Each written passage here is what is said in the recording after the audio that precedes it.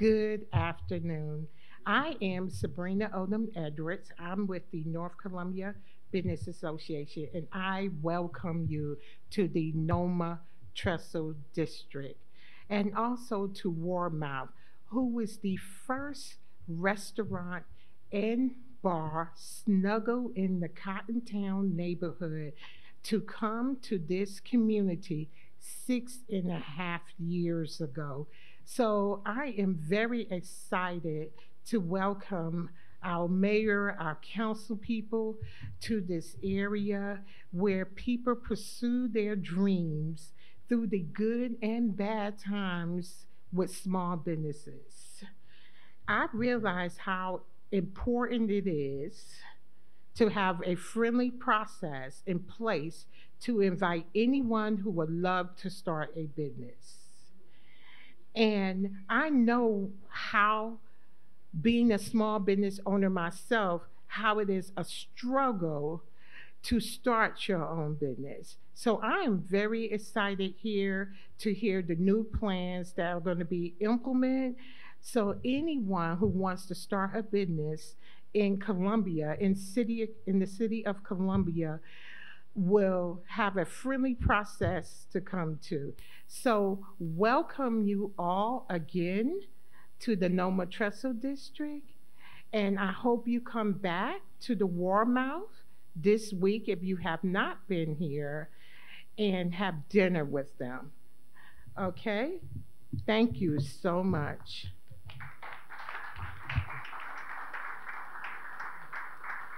And now I will introduce our city manager. Well, she don't need any introduction, but um, Teresa Wilson will be next.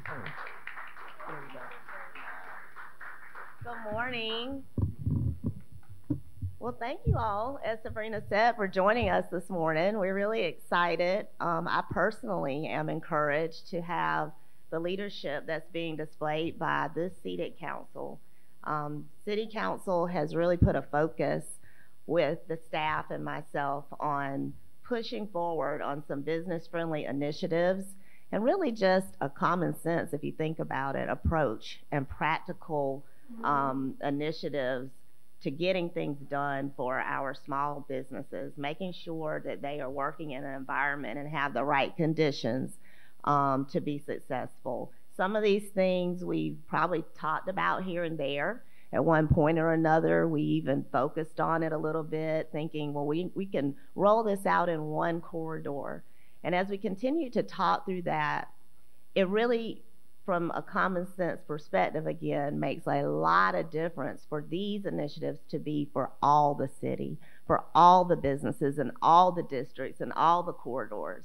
So, giving it a little bit more time with a little bit of fresh voices and faces on council who are certainly focused on it, we have definitely put the time in as staff with our council, and it's been, um, you know, a lot of good work, productive work together. And I think now this summer, being able to roll it out, get some feedback from you all as small business owners is going to serve us very well.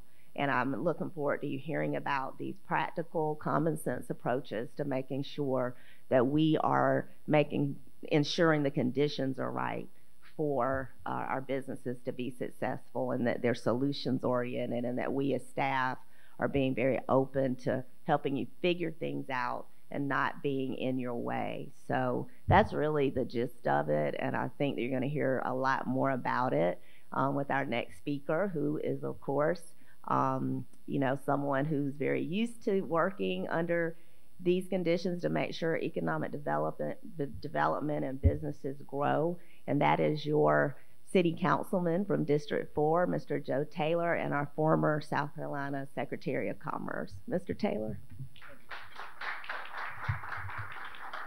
Right. Thanks, Teresa. And, in, let me just say, welcome everybody here. Which good business folks and press folks and utility folks. I mean, small business and big business. Uh, welcome to North Main Street surrounded by the four famous B's in Columbia. I see bass, brim, bourbon, and barbecue. So let me tell you, eh, you know, I get the honor today of kind of going through the changes that we're, we're, we're in the process of making or have made uh, that I think makes this probably one of the best days for, for all business, but especially small business growth in Columbia. Um, you're going to see on these posters around, you'll see it outlined. And I'll just take a few minutes and run through each one so everybody's aware of it. And then after, after we're through here, all of us will be available for questions. I mean, the first is on-site parking requirements are being waived for, for all buildings, new and existing, under 7,500 square feet. I know y'all went through it down here. And, let me say, we're following a practice that, uh, I, I, that you see other university capital cities, Raleigh, North Carolina, Fayetteville, Arkansas, where, where we're really want to cease to become or cease to be a city of parking lots. You know, more capital investment, more tax base. And frankly, in the past, what we've done, and too many times, we were, and I see my man nodding his head, we forced small businesses to go and rent spaces to meet our on site parking requirement. And that's just less capital they have to run, up, operate, and grow their business. So we're saving significant, I think, monthly um, rental costs. The second is grease capture costs. We've had a history here, whether it's good or bad, of requiring the most dramatic grease traps that you could do. That it sometimes can cost as much as seventy-five to hundred thousand dollars. I mean, that's a deal stopper for small business folks. And and what we've done working with our water and sewer department, I see Clint Shealy, our, our, our manager of that department, assistant city manager over here, is we've worked to eliminate the what. First, let me say this: what we've done is we're working with our with your plumbers and your engineers to make sure the system that you need for your place will work. In other words, it's not just a $75,000 grease trap anymore. It can be a series of grease interceptors. We're thinking like a big city. I mean, if you're if you're in downtown Atlanta or New York or somewhere, it's not that you can go dig the street up and put in a grease trap and, and new technologies are out. So, from an environmental perspective, we want to make sure you collect the grease. But from an economic perspective, we want to make sure it's not a deal killer for you to not be able to start your business up. Jeff Palen, raise your hand, Jeff. Jeff runs assistant city manager for finance.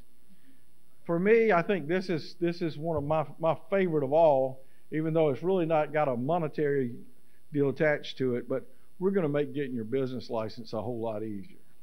You know, I tell people our country got started because people didn't like taxes, and I'm sure people don't like tax returns. And I think the fact that we've asked everybody here for too long to show us your tax return before we give you a business license, we're going to trust you now. It's all you know. We're going to make it where it's easy for you to get your license. You don't have to give a day or so up. And Jeff has assured us all that by this fall, or by the fourth quarter that you'll be able to do everything online. And I think that just it really takes a big headache away and, and makes things easier. We're going to make uh, renovations and remodeling a lot easier. Unfortunately, we've had some cases where um, a perfect example was a, is a new automotive shop uh, in the central business district where where we made you, if you made your outside of your building look really good and you invested in it, you would have to bring your landscaping requirements up to what the current the current rules were, and that caused us in lots of cases to take away parking places and things like that, which frankly sometimes even had a negative result where it caused you not to have the on-site parking requirement that we used to have. So today, if you're doing, if you're going to invest in your building, renovating it, making it look better, you'll you know you'll be able to keep your landscaping as it is. You'll not have to be compelled to bring it straight up to to the to the new standards. My favorite of all, and again, this is where I would I would again uh, thank Clint Shealy and Teresa Wilson for working hard on this. Is we're eliminating the water and sewer capacity fee or expansion fee on on meters less than four inches. So if you buy a building on North Main, take this, this building here. It was an automotive shop. It used to be, you convert it from an automotive shop into a cool little restaurant like this, you would have to pay a change of use fee, which could be as, as much as thirty-five or, or even forty-five thousand dollars. And we've eliminated that. And I can just tell you from a personal from a personal perspective, I've watched people walk away from us on on on hospitality opportunities because of that. On bigger meters, we will you get credit for what the service was there to begin with. It's a different approach. I don't think it will have a negative fiscal impact at all. As a matter of fact, I think it will have a positive fiscal impact because the deals we lost before we'll get now that pay more taxes, hire more people, buy more water, pay for more sewer. And if you have questions about that afterwards, Clint will be right over there. And I would just say the last thing we're doing too is we're, we're taking a, a whole new look at economic development and how we operate it here. You know, bringing, rec- we expect in 23 to bring recruiters in here that will work for the city, that will, that will go out away from Columbia and bring that capital back here.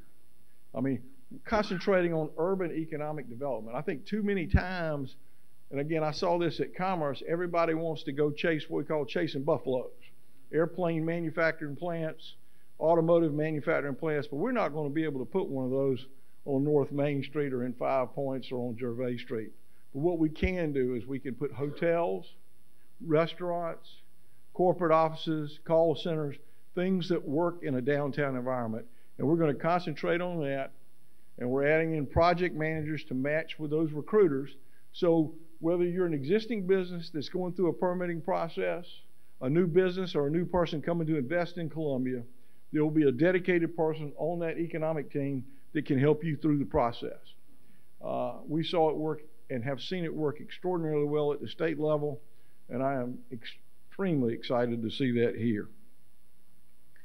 I mean, like I say, I think this is a big day for small business. I think it's a good day for all business. And uh, I want to thank our staff for working hard on these things. These are frankly, these are some of the things, the reasons that I ran for city council, is to make our city as easy to operate in, as easy to start a business in as anywhere else I've seen. And frankly, uh, if we can just fix these property taxes on, on small business and get our permitting process shortened up, I just think we'll be the, the next great success story in the South. Thank you. I guess Ms. Herbert, I get to introduce you, right? My favorite city council member, the representative of District 2, Ms. Tina Herbert.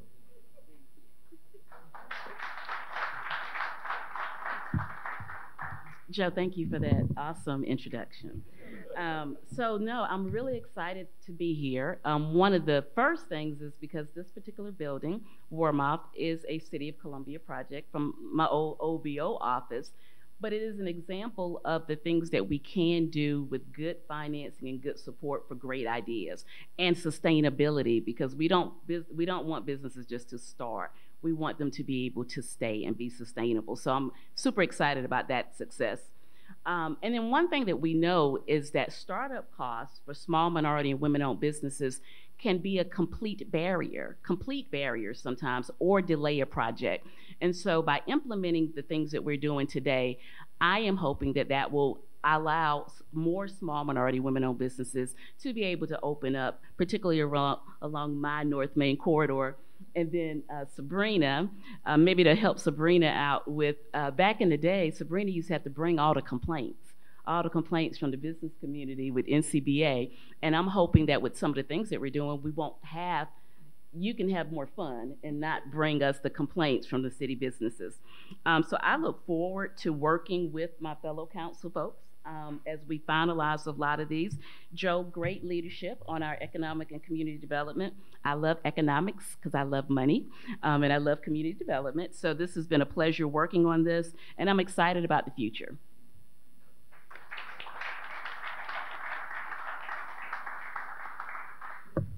Good morning, everybody. I am Will Brennan. Um, I'll introduce myself since uh, Councilwoman Herbert. Uh, District 3, so uh, proud to be here today and so proud to be a part of the Economic Development Subcommittee. Uh, a large thank you to Ms. Wilson for all your work um, on these initiatives, uh, to the mayor for your leadership on these initiatives, and to my fellow co council members for making this happen. But most importantly, I see our city staff huddled over there. Thank you for uh, taking on the challenge that we put in front of you. Um, how to make it easier to start and grow a business in our fantastic city. Um, all signs are pointing to historic growth in population in our state, our county, and in our city. Um, not just recently, but uh, in the near future. Uh, with growth comes challenges uh, that we need to keep up with uh, as a city and as a city council and as a city staff. Um, we need to keep up with our need to grow efficiently and effectively deliver the basic services that our residents and businesses deserve. We need to keep up with providing the foundations for, for innovation and talent to spread their wings uh, in our city. We've got so much talent in our, our grade schools, our tech schools, our higher education institutions. We need to continue to grow those foundations to keep that talent here to start a small business. Innovate with us here at the City of Columbia. It's tough, as mentioned earlier, to start a business in general. Um, startup entre- entrepreneurs and small business owners have a tough road. From concept of a business to jumping headfirst uh, into what is a passion project for most small business startups, finding the funding, going through the, the permitting and licensing outlets uh, it's a challenge uh, a lot of times, but but we're here to to help make that easier for you as a uh, small business owner and innovator to get to turn that open for business sign on. We are open for business here in the city of Columbia and look to help our small businesses. Any hiccup in that process can can turn off that innovative spirit, and we recognize that. So uh, shortening that process, making that process less of a headache and easier is something we are continued to be committed to, and we're going to continue to work on that. Uh, you know, I represent District 3, um, though I've, I've been to the Warmouth many times. I see a uh, hunter-gatherer Heisey IPA up there on tap, which is a District 3 representative. Uh, we're very fortunate to have the Vista, Five Points, Devine Street, Millwood Avenue, Rosewood Drive, and the Garner's Ferry commercial corridors in District 3. All these are great districts that are looking for small business, excuse me, small business growth. Uh, and we want to help to attract small business and innovators to these districts as well as our entire city.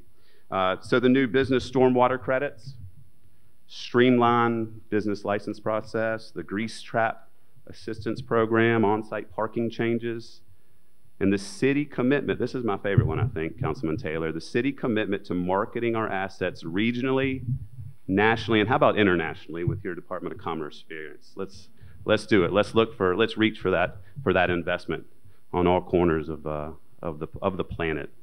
It's a great start. Um, you know, you've heard me say it many times. The only reason city and local governments exist is to give you, the citizens of this wonderful city, the best quality of life. And we're going to continue to do that through these efforts, um, uh, making small businesses welcome in the city of Columbia.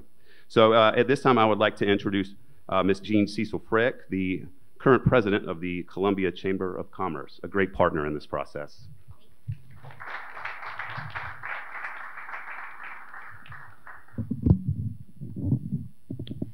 Thank you, Will. And thank you, Mayor Rickenmann and members of council for your commitment to improving policies and procedures at the city that will continue to make our community more business friendly. On behalf of the Columbia Chamber, our board of directors, and the 1,200 businesses we represent, both large and small, these changes are vital to the growth of the city's economic base. We all want to foster an environment that allows existing businesses to expand while also creating an environment that welcomes new businesses. Far too often, we hear from our partners about the burden of doing business in the city, whether it's lengthy processes, needless requirements, or just too much red tape, not to mention high taxes. We can do better. And today, we are taking an important step forward in taking care of our business community by increasing the speed to market from the moment a business applies for a permit to having the permit in hand. The measures being announced today further enhance our city and the integrity of doing business here. We want all businesses to know not only are they valued, but they are being heard. These initiatives are another reminder that the City of Columbia is open for business. We all want to see our businesses succeed. The Columbia Chamber is thrilled to see the, the city develop these measures on behalf of the business community, and we also want to publicly thank you for your efforts with the Tax Modernization Committee. We look forward to seeing more business friendly recommendations come out of those efforts. Again, thank you, Mayor Rickman, City Council, and City staff for your commitment to identifying and resolving some of the challenges of doing business in the city. We look forward to expanding our economic base by implementing these business friendly measures announced today. On behalf of our partners and future partners, please know how much the Chamber appreciates the city's efforts to foster a more business friendly environment. We welcome the opportunity to move our business community forward together. Thank you. And now, Mayor Rickenmann needs no introduction. Thank you, Gene. Thank you, everybody, for being here. You know, it's amazing when you listen to the conversations that are going on and the excitement that's become it. Since we've started talking about more business friendly and being open, every corner of this community I go through, I hear people excited about it. There's a new sense of energy, and we need to harvest that energy and continue to help support all these businesses. But if you think about it, we've had Swift brands located in Five Points. We had ribbon cutting for uh, paint and sip right up here on the street. We have Uncle Willie's opened up. We have um, the Strudel on um, Lady Street. Then we ended up looking at all these businesses from the Falafel King on, continuing to grow. It, it's very exciting to go to a lot of ribbon cuttings, even though I get ribbed quite a bit about it. I love it because if you think about it, nothing but wings has opened up. We've we've had all these people who are investing and are excited, and the public supporting them, and that's the energy we want because we are an incredible community that supports its small businesses. I'd be remiss if I didn't take the, this moment to thank Joe, Tina, and Will and Teresa for all of their hard work, and of course our staff but more so, I also need to make sure that I, I take a minute.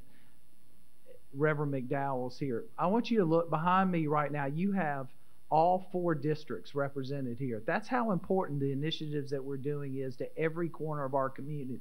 That we have every council member representing those districts here today.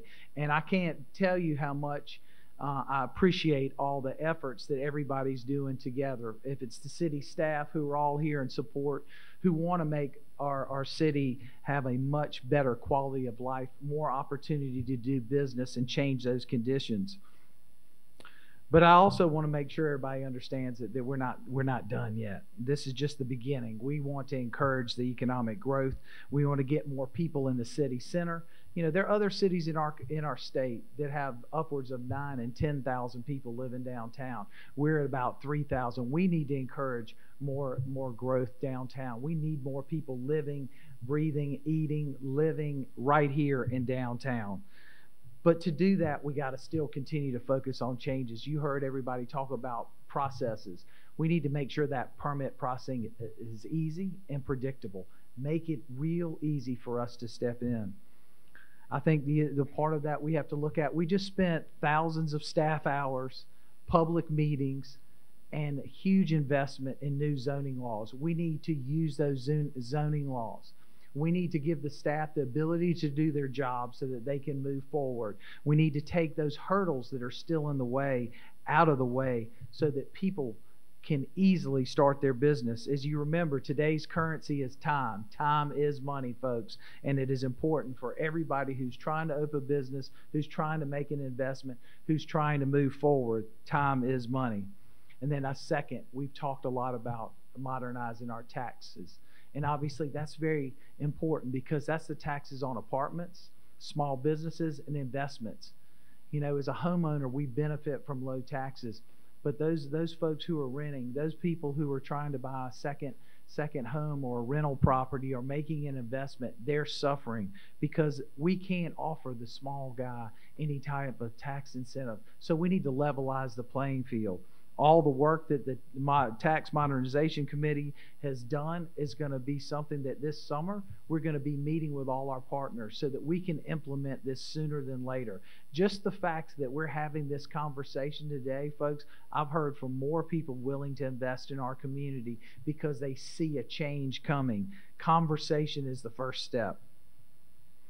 And then I think the next part we have to do, I, I'd be remiss if I didn't take a moment to thank Chairman Overture Walker, Vice Chairwoman Jessica Mackey, and the entire Richland County Council for not moving forward on any tax increases, for really stepping back and going, let's try to work as a community so that we can be competitive.